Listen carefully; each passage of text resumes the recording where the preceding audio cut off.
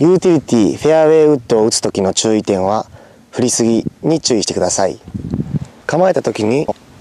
できたこの右膝の角度をテイクバックでこれが起き上がらないように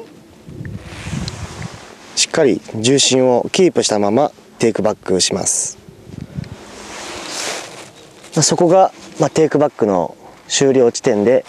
重心を変えないようにスイングします。